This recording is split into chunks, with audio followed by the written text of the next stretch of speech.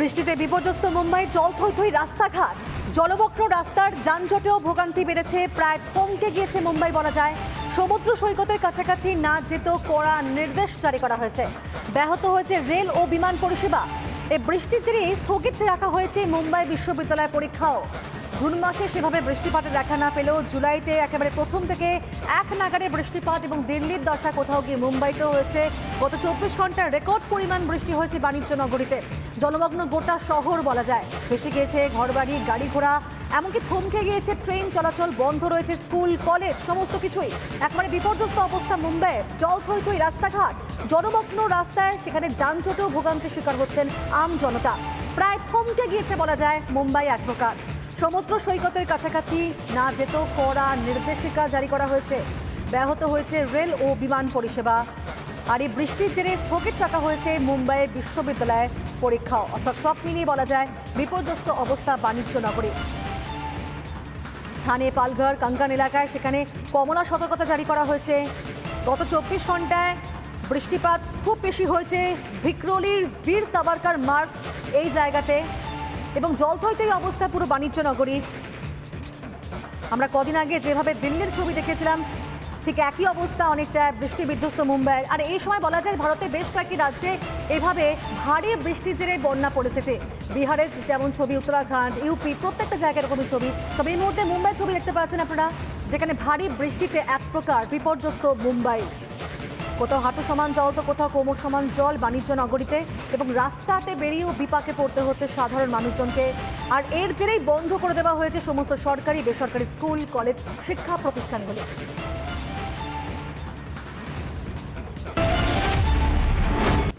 গাফিলতিতে মৃত্যু হলে নিস্তার নেই চিকিৎসকদেরও। দোষ প্রমাণ হলে শাস্তির বিধান ভারতীয় ন্যায় সংহিতায়।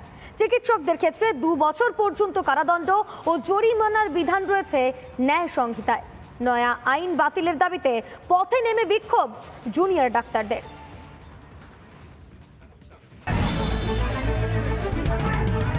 চিকিৎসায় গাফিলতিতে রোগী মৃত্যুর অভিযোগে হাসপাতাল ভাঙচুর, মারধর, নিত্যদিনের ঘটনা।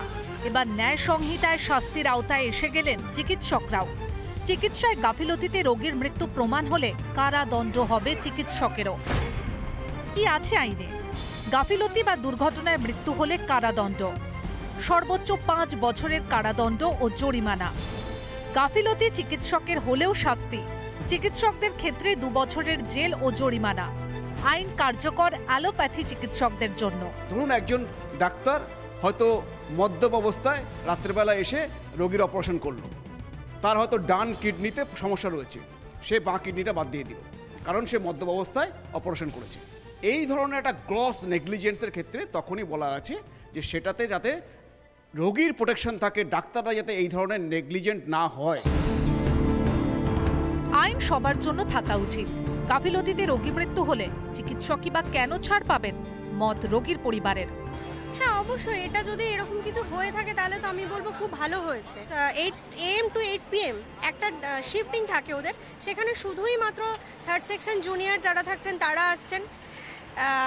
স্টুডেন্ট ট্রেনিং যারা করছে, তারা আসছে, এগুলো তো মেনে নেওয়া যায় না না? তো এরকম যদি কিছু থাকে অবভিয়াসলি ভালো হবে। হ্যাঁ তাহলে চিকিৎসকরাও একটু সচেতন থাকবে সে আইনটা যদি পাস হয়ে থাকে। চিকিৎসারাও একটু সচেতন থাকবে, সবাই তাহলে একটু ভালো চিকিৎসা পাবে।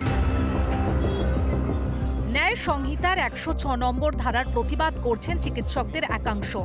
সোমবার আরজিকর হাসপাতাল, উত্তরবঙ্গ মেডিকেল কলেজ ও জলপাইগুড়ি মেডিকেল কলেজের জুনিয়র ডাক্তাররা প্রতিবাদ মিছিল করেন।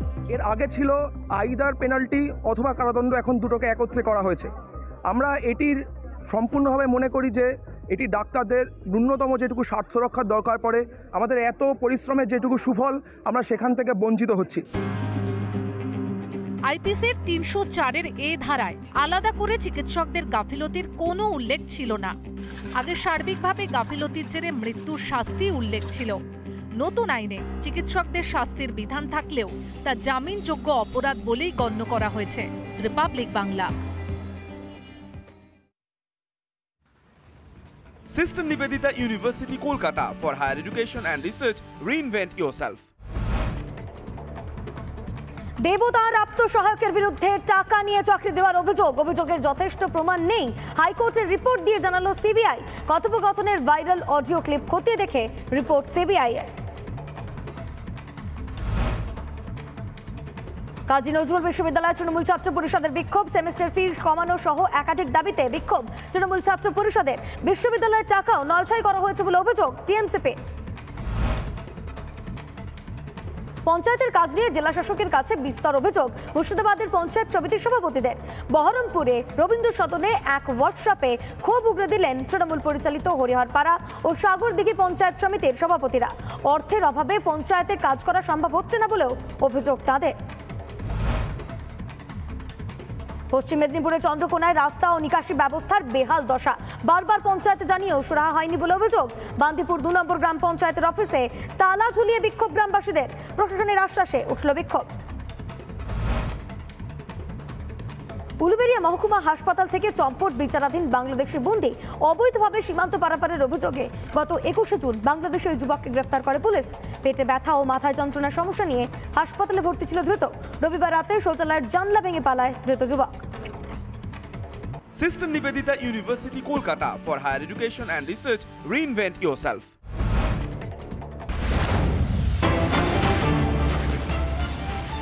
নজর রাখব বাঁকুড়ার দিকে। রিপাবলিক বাংলার খবরের জের। ইনপুরের তৃণমূলের ব্লক সভাপতিকে শোকজ। আপনাদের আরও একবার জানিয়ে রাখব, ইনপুরের তৃণমূলের ব্লক সভাপতিকে শোকজ। রিপাবলিক বাংলার খবরের জের। শোকজ করলেন বাঁকুড়ার সাংসদ তথা সাংগঠনিক জেলা সভাপতি অরূপ চক্রবর্তী। বাঁকুড়ার ইনপুরে টিউবওয়েল বসানোর নাম করে টাকা আত্মসাতের ওঠে আর সেই খবর সম্প্রচারের বাহাত্তর ঘণ্টার মধ্যেই ইন্দপুর ব্লক তৃণমূল সভাপতি রেজাউল খানকে শোকজ করল দল। আগামী সব দিনের মধ্যে জবাব চাওয়া হয়েছে তার কাছ থেকে।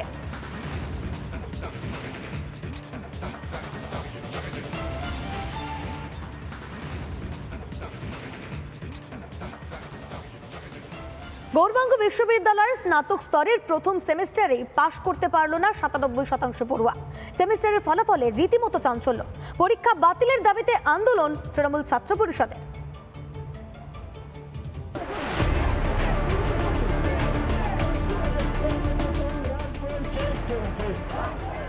পাশের হার মাত্র তিন শতাংশ। গৌরবঙ্গ বিশ্ববিদ্যালয় স্নাতক স্তরের প্রথম সেমিস্টারের সাতানব্বই শতাংশ পড়ুয়াই ফেল। পাশ না করতে পেরে এবার বিক্ষোভে সামিল পড়ুয়ারা। আর সেই বিক্ষোভের নেতৃত্বে শাসক দলের ছাত্র সংগঠন, তৃণমূল ছাত্র পরিষদ। পড়ুয়াদের পাশের দাবিতে বিশ্ববিদ্যালয়ের ডেপুটেশন জমা পড়েছে। আমাদের গৌরবঙ্গ বিশ্ববিদ্যালয়ে এনইপি ফার্স্ট সেমিস্টারের রেজাল্ট বেরিয়েছে। নাইনটি সেভেন পার্সেন্ট মেজর সাবজেক্টে ফেল করেছে। এবং দুইয়ের বেশি সাবজেক্টে ব্যাক আছে, অর্থাৎ সেমিস্টার ব্যাক স্টুডেন্টের সংখ্যা প্রায় সাতাত্তর পার্সেন্ট তো এই রেজাল্ট আমরা মানছি না। এবং আমার মনে হয়, বেশিরভাগ কলেজগুলোতে প্রায় নব্বই থেকে পঁচানব্বই শতাংশ কলেজে এখনও পর্যন্ত তারা ফার্স্ট সেমিস্টারের সিলেবাস কমপ্লিট করেন। সিলেবাস কমপ্লিট না করেই ছাত্রছাত্রীদের পরীক্ষা নেওয়া হচ্ছে। মূল বিষয় ফেল করলেও বাকি দুটি প্রধান বিষয় যে কোনো একটিতে উত্তীর্ণ হওয়ায় তারা দ্বিতীয় সেমিস্টারে চলে গিয়েছে। ফেল করে পুরনো সিলেবাসে পড়ানোর দাবি তুলেছেন পড়ুয়ারা। আমাদের সাথে যদি প্রতিবারে এরকম হয় তাহলে আমরা ফিউচারে যে কোনো কিছু করব সেটা আমরা কি করে এগিয়ে যাব? কিন্তু আমাদের এটাই দাবি যে আগে যেরকম সিলেবাস ছিল সেম করা হোক। কারণ আমাদের পক্ষে এতটা পাঁচটা সাবজেক্ট আমাদের মেজরের মতো পড়তে হবে। আমাদের কাছে মেনে নেওয়াটা অসম্ভব হচ্ছে। বিশ্ববিদ্যালয় কর্তৃপক্ষ অবশ্য এই নিয়ে প্রকাশ্যে মন্তব্য করতে নারাজ। রিপাবলিক বাংলা।